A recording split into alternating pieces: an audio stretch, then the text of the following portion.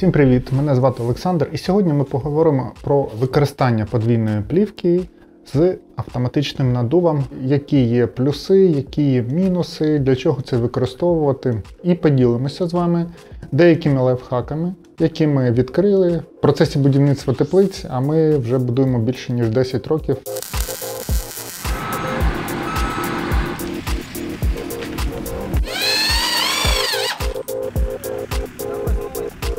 Подвійна плівка. Чому саме її стали використовувати? Чому не можна взяти, наприклад, якщо ми використовуємо плівку товщиною 150 мікрон, взяти плівку 300 мікрон і не заморачуватися накриттям подвійною плівкою, начебто товщина та ж сама. Що 300 мікрон один шар, що 150 мікрон два шара. І так, використовуючи два шари плівки, саме головне, ми створюємо повітряний буфер між зовнішнім повітрям і внутрішнім в теплиці повітрям. Тобто ми отримуємо буферну зону. І за рахунок цього ми значно зменшуємо теплові втрати. Другий плюс, який ми отримуємо, це ми зменшуємо конденсат, який створюється на накритті.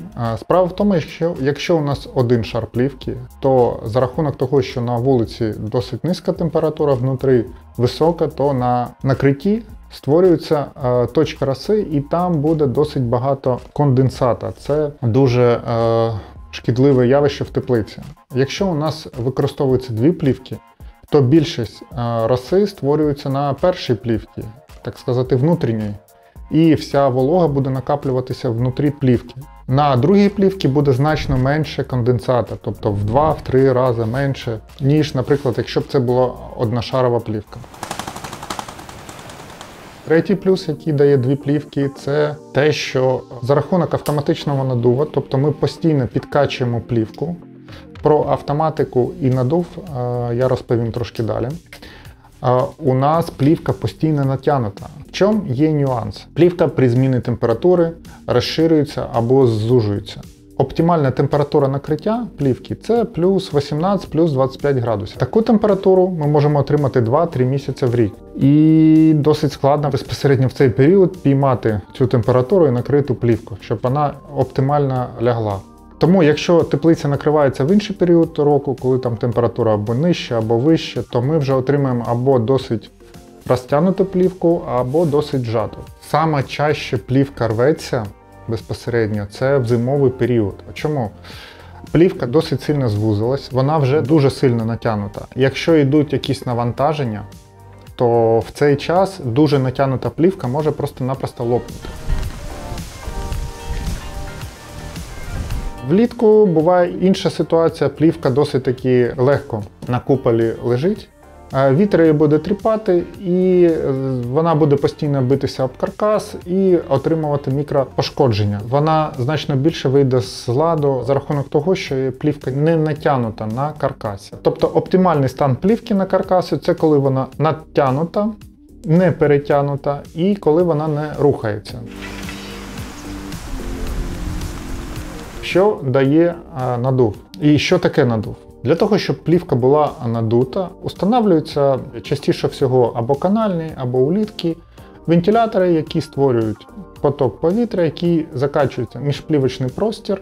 І таким чином ми роздуваємо плівку. Ми можемо роздути її на пів метра, тобто ми отримаємо досить великий прошарок між зовнішнім і внутрішнім шаром повітря. Вот если посмотреть, она находится ну вот здесь я не знаю, видно, не видно, можно увидеть, арка знаходиться 15-20 від верхньої пленки. В залежності від герметичності, про герметичність ми також поговоримо далі. У нас буде включатися вентилятор. Ми його самостійно настраюємо, і досить таки оптимальний варіант використання це взагалі використовується або реле часу, або таймери. Тобто ми настраюємо цю систему так, і взагалі ми підбираємо вентилятори так, щоб він працював.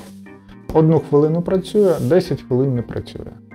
Е, наприклад, для теплиці 10 на 50, яка правильно складається, ми можемо поставити вентилятор ВК-150 продуктивністю десь 450 метрів кубічних на годину. Він буде працювати одну хвилину працює, 10 хвилин не працює. Тобто за годину ми міжплівочний простір загонимо приблизно 45 кубів повітря. Всього лиш. Це десь 1% від об'єму загальної теплиці. Тобто, отак і підбирається вентилятор. Прораховуємо взагалі є таблиця, яку ми розробили, і там вже під кожну теплицю, під кожен розмір є е, вентилятор і як він повинен працювати. Але є там ще один момент: Е, в залежності від пори року коригується час працювання вентилятора. Наприклад, взимку вентилятор повинен працювати менше, тому що плівка зжимається і е, міжплівочний простір становиться менше. І можна зменшувати, наприклад, 1 до 15. Взагалі, налаштування таймера, наприклад, ми виконуємо два рази на рік. Тобто це переходимо на зимовий період і на літній період. На зимовий період ми зменшуємо час працювання вентилятора. Це коли ми переходимо на 0 градусів вночі, тобто рахуйте це вже, наприклад, там, ну, взагалі це в жовтні. Да? І знову переходимо на літній період, тоді, коли вже у нас вночі не буде заморозки. Тобто вже ми переходимо на літній період, збільшуємо час працювання вентилятора. Ну, це взагалі якби як відбувається принцип роботи таймера, як воно все взаємозв'язано. Наступний плюс, про який можна поговорити, це безпосередньо те, що плівка подвійна з надувом. Вона значно збільшує несучу здібність каркасу і конструкції взагалі, тому що вона як е, надувний матрас обтягує конструкцію, і вона його стягує, і вона його робить значно міцніше. І він менше хитається, все інше, якщо е, плівка досить таки добре натягнута, ну правильно натягнута. Наступний плюс, що дає подвійна плівка, за рахунок того, що вона надувається, вона досить таки м'яка. І сніг з неї дуже легко спускається. Чому? Тому що воно досить гладке. Якщо форма правильно зроблена, як е, на дитячих надувних атракціонах досить плавно спускається з цих горок. Це перше. І по-друге, що досить цікаво, що плівка, другий шар, він знаходиться на повітрі, він не скасається першого шару. І е, за рахунок вітра, за рахунок всього, він може трошки рухатися. Сніг, опять же, буде з нього набагато краще сходити. Ще один плюс подвійної плівки, що коли вона надута, і навіть коли піде град, то а, град просто-напросто буде від нього відлітати. Опять же, як той же самий матрас, попробуйте кинути матрас надувний камінь, він а, просто-напросто від нього відстрибне. Тобто такий же принцип у нас і працює на самої теплиці, якщо вона надута. До речі, надув повітря в купол, він ще дає досить такий цікавий ефект. По-перше, вентилятори повинні правильно ставитись безпосередньо в самому верху. За рахунок цього вони беруть найтепліше повітря, яке у нас є в теплиці. Тобто там, де воно підіймається, там висока температура, ми його звідтиля забираємо. Вентилятор не ставиться ніколи безпосередньо під самим куполом, тому що десь 30-40 см від куполу там же температура падає, тому що тепле повітря торкається накриття, накриття більш холодне, воно його торкається і починає опускатися, тому там воно вже трошки холодніше безпосередньо під самим куполом. Що у нас відбувається? Ми забираємо тепле повітря, міжплівочний простір. Тепле повітря, коли заходить в міжплівочний простір, то ми там створюємо точку роси досить сильно на самій верхній плівці. А нижня плівка, оскільки у нас е, досить таки тепле повітря туди зайшло, то е, нижня плівка на, на ній значно менше виділяється конденсату. Тому саме той ефект, що я казав, що на нижній плівці буде набагато менше конденсату, ніж на верхній плівці. І це один із способів, якби знизити конденсат в самої теплиці. Для нормального кріплення е, використовуються спеціальні елементи кріплення плівки е, до каркасу. Тобто це профіль кліпса плюс пружина, так називаємо. Тобто можете більш е, детально подивитися на нашому сайті. Це найефективніший спосіб кріплення плівки. Якщо ви знаєте більш ефективне кріплення плівки, напишіть, будь ласка, в коментарях. Тобто це найефективніший метод кріплення плівки. Ми можемо при необхідності розпакувати, зняти плівку, і вона не буде пошкоджена в тих містах, які ми кріпили. Кріплення плівки виконується по периметру теплиці, там, де у нас є плівка, якщо вона є елементами, всі ці елементи повинні закріпитися, щоб у нас завжди два шара були скріплені безпосередньо цій кліпси плюс пружиною.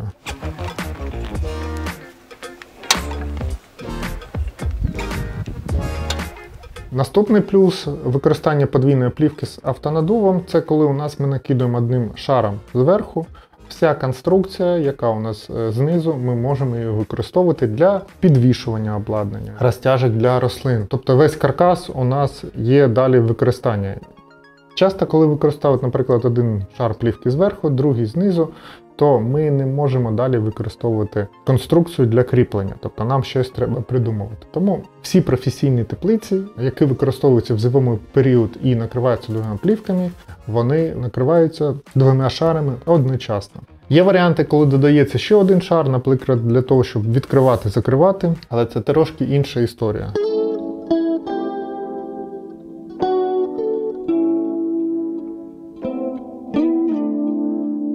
Далі, е, який плюс ще є, те, що коли ми постійно закачуємо в міжплівочний простір повітря, то там є рух повітря, і це приводить до того, що у нас плівка внутрі міжплівочного простору не буде цвісти. Але для цього треба на вентилятор поставити сітку, бо часто не ставлять, і потім туди все-все-все залітає.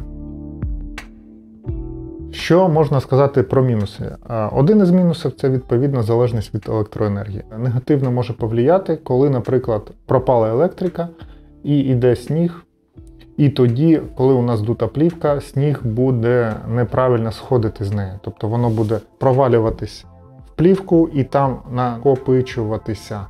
Тобто це може досить таки привести до негативних наслідків. Ще із мінусів е, треба розуміти, що якщо у нас з'являються на плівці пошкодження, то плівка буде швидше здуватися. Це буде маркер того, що у нас плівка пошкодження. Тобто, якщо здувається, треба зразу шукати пошкодження. Бо буває так, що іноді, коли два шари, то плівка пошкодження, е, тепло втрачається, повітря виходить, а ми не розуміємо, що у нас в теплиці стало більш холодніше. Ще нас запитували, якщо ми відкачуємо повітря з теплиці, чи е, ми його втрачаємо, тому що постійно качаємо в плівку, і ми його відповідно втрачаємо. І ми топимо теплицю, а потім ми його викачуємо в міжплівочний простір. Ну, по-перше, як я й казав, це всього 1% від е, загальної площі теплиці. Це раз. По-друге, треба розуміти, що від цієї маси 50% у нас іде назовню теплиці, а 50% обратно повертається в теплицю. Е, Ще запитували по е, подвійної плівки, чи накопичується там волога. Да. В міжплівочному просторі завжди буде накопичуватися волога, тому що у нас тепле повітря заходить між плівку, там воно охолоджується, зразу випадає роса. Ця роса е, скатується по плівці і воно буде все знизу накопичуватися. Тому просто берете голку, прокалюєте в тих містах, де накопичується вода, і вона буде постійно виходити, тобто треба робити дренаж, від цього ніяк не уйти. Якщо ви знаєте варіанти, як від цього йти, напишіть теж в коментарях. Ось загальні рекомендації, що таке подвійна плівка, як її встановлювати, як вона працює, як настраювати автоматику. Більше інформації можете на нашому сайті подивитися про все це. Вибирайте варіант, що ви хочете, і ми вам це зробимо. З вами був Олександр Катеплиця. Живіть в гармонії з природою та в ритмі прогресу. До нових зустрічей!